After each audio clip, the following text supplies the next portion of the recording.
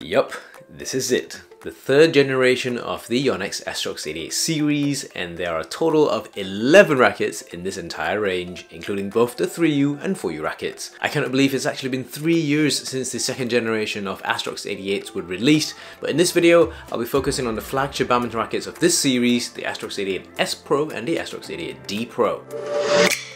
Here's a quick list of things which are different on the S and D Pro models compared to each other, as well as the differences when compared to the previous generation. Different frame sizes, different shaft diameters, power assist bumpers, the amount of recess areas on the frame, second generation NAMD material or flex force in the rackets, and also this CFR material too. When you see this video, I've had a few weeks with these rackets already and I've tested them very extensively over the period that I've had them and I've learned a lot with them. And I did think to myself when the rackets first arrived, how can it get much better than the ones we're playing with right now? And to be honest, I was very surprised at how many segments were redesigned and updated for this this new generation. So let's go deep and let me break it all down for you. First off, what do you think about the looks of both the new Astrox 88S and 88D Pro rackets? Until you get used to looking at them, you will be confused what racket is the 88S and what racket is the 88D. But a trick here is to either look at the top of the racket or the T-joint area. The Astrox 88D Pro have a silver top and black T-joint, whilst the Astrox 88S Pro have the opposite, a black top and a silver T-joint. Only remember one and you'll be alright. Additionally, all the silver areas on any of the Astrox 88 series rackets will be glossy and the black areas matte. Also, all models of the S rackets will have a glossy shaft whilst the D rackets will have a matte shaft. Confused yet? I personally quite like the turquoise blue colour matched with the black segments. I think it looks quite cool and the decals where there's little dots and dashes. To some of you, it's either going to look like Braille or bacteria pick one. Either way, I like it and I think it looks cool. You will also quickly spot that there's a strip of grommets at the 12 o'clock section of both models, including the rest of the whole Astrox 88 series. This is the power assist bumper which was first seen on the Astrox 99 Pro a few years ago, but this version of power assist bumper has been specially molded to snugly fit into the recess area of all the rackets within the Astrox 88 family. There's also little grooves for the mains string to sit on when the rackets are being strung too. They also look and feel pretty aerodynamic without protruding much at all. And speaking of not protruding, the recess area for this generation of Astrox 88 flagship rackets have also been updated. Previous generations Astrox 88s have their whole frame recessed all the way up to the two U-shaped grommets which stringers label as grommet B4 as is the fourth grommet from the T-joint. However, However, this third generation of Astrox 88S Pro and D Pro have had their recessed area decreased by 4 grommets, up to the B8 grommet now. Personally, I don't think this slight reduction will have a big impact on performance, we'll find out later. If we now look at the shafts, we can finally see the introduction of the second generation NAMD material, Flex Force, finally being used on Yonex's badminton racket range. NAMD is developed by Nitta Corporation, and from what I understand, Nitta is using a technique where carbon nanotubes are uniformly dispersed onto carbon fiber, which creates a uniform carbon nanotube film on the carbon fiber surface. Obviously, this is a significant oversimplification of the science that goes behind this, but apparently the second generation NAMD Flex Force material has improved its physical properties, such as vibration dampening, toughness, and increased strength too. Yonex has used Flex Force in the shaft of this new Astrox 88S and D Pro to help with quicker flex and snapbacks during shots. Remember to protect your precious badminton rackets from chips and scratches with the premium racket protection tape with free delivery worldwide on ckyew.com forward slash shop. And I want to bring your attention to something I spotted whilst filming these rackets and it's these three little characters that I've seen on the shaft of the racket that says CFR. I've not seen it before on any of the rackets I've reviewed or tested so after digging a bit deeper it's a flexible repulsive composite material which Yonex has implemented on the top of the racket frames, right below the power assist bumper in this instance. As far as my understanding goes, CFR is a type of carbon fiber rubber material and coincidentally the tour and game models of the Astrox 88 will also have a flexible repulsive composite material in their construction but it'll be a CSR material core shell rubber. According to Yonex, the CFR and CSR materials are used to increase the shuttle hold time on the rackets whilst also trying to increase power transfer with that trampoline effect. I'll talk more about CSR in my Astrox 88 Tour gameplay comparison, so make sure you subscribe for that. Gone are the four rows of bigger grommets in the 3 and 9 o'clock region,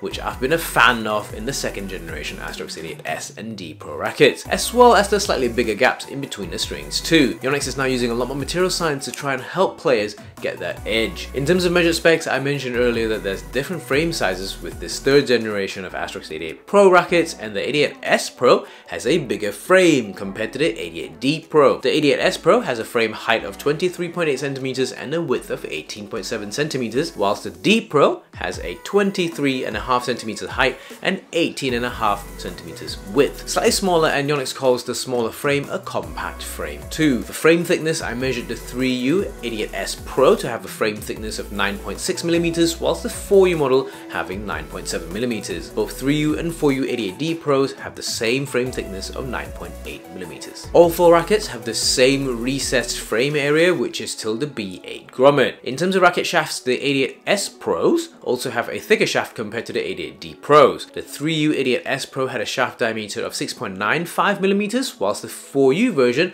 was at 6.9mm. Yonex calls the 88S Pro's shaft the super slim shaft, whilst both versions of the 88D Pro had shaft diameters of 6.7mm, which Yonex labels as the ultra slim shaft. All four rackets have the same shaft length of 21.5cm. In terms of handle length, the 88S Pros have a handle length of 16.5cm, whilst the 88D Pros have theirs at 17 centimeters. Do note that the 88S Pro rackets are 5 millimeters shorter compared to the 88D Pros too. Here are also the swing weight measurements on all four rackets.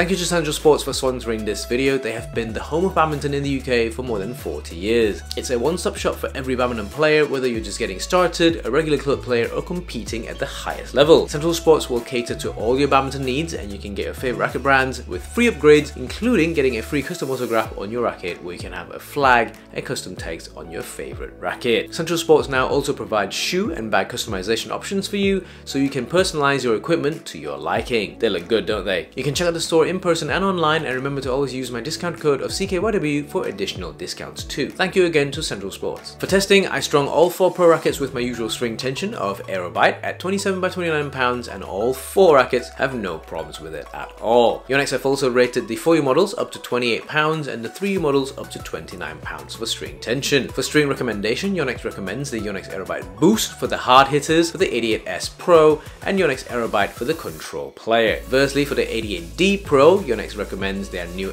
Exbolt 68 string for the hard hitters and Aerobite for the control player. If you've not seen my review and comparison videos for the Exbolt 68 string, check them out here or in the description below. So, how do the rackets play? At least when compared to the previous generation. As my benchmark is my normal racket, which is the second generation Astrox 88D Pro in 4U, I immediately felt both the third generation rackets feel quite different to my old racket. My first immediate reactions and thoughts were they've made the new generation rackets easier to pick up and play, but if you're coming from the second generation, they will feel quite different. If we look at the 4U third generation Astrox 88D Pro first, I felt that my old 88D Pro was stiffer as a whole, but it's not to say the new generation is significantly softer, but after quite a few sessions, I realized they just flex in a more controlled and refined manner, which evidently is very different to my old ones. I would certainly consider the 88D Pro to still be a stiff racket, but as I've said in my Exbolt 68 string review, I feel like badminton now is at a stage where equipment manufacturers are developing products which give us that little bit more hold time on the shuttle to help us with control, and hence that slightly different feeling. Having more hold time also means less sharp responses as the shuttle sits for that fraction longer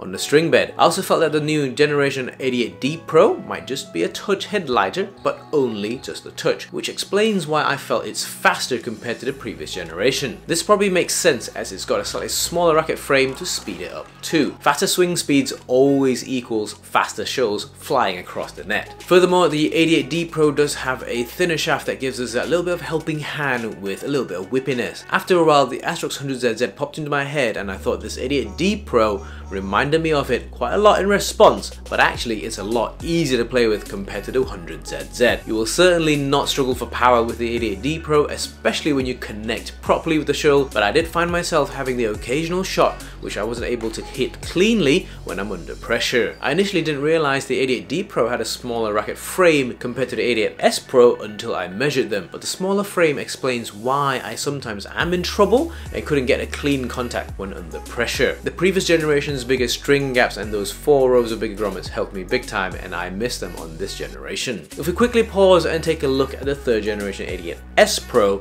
and boom, it's immediately faster than the 88D Pro. The 88D Pro swings smoother in this instance as it's got a smaller frame alongside a thinner shaft, but the 88S Pro swings faster. Again, being head lighter than the 88D Pro and also shorter contributes to the added speed. And similarly to the new generation 88D Pro, Yonex have also made this 88S Pro even easier to play with. I didn't feel like the normal size frame dimensions slowed the racket down at all. However, I also felt that the 88S Pro feeling a bit softer than the 88D Pro in this instance as I think the slightly bigger racket head is making that slight difference. But I didn't feel the shaft flexing as much as the 88D Pro as it's got a slightly thicker shaft which perhaps is better at resisting deformation. I also want to add that the 88S Pro was amazing at short, sharp shots at the front and mid-court such as kills, drives and counter attacks. The immediate reaction with the slightly shorter racket is really fun and direct. Also the bigger racket frame also meant that it's got a bigger sweet spot too and I do like bigger sweet spots. Power wise it's also no issue as it certainly has enough head weight to transfer the energy from my swings onto the shoal although I did struggle a little with the 88S Pro when I was playing singles with it. Doubles